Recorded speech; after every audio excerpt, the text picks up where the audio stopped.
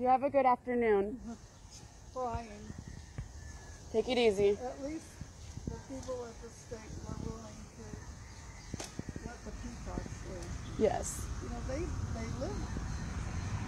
But our head breeding male is Fancy Pants number five, and his four greats grandfather was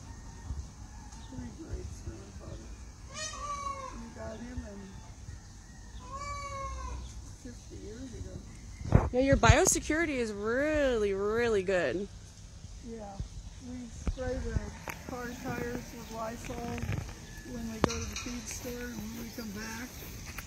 We step in the ponds down before we do anything with the birds. Good, yeah.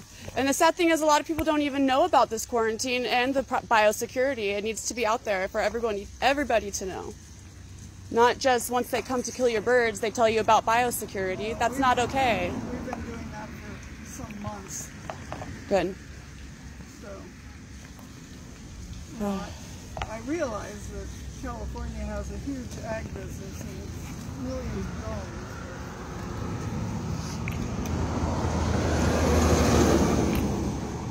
Take it easy. Get some rest.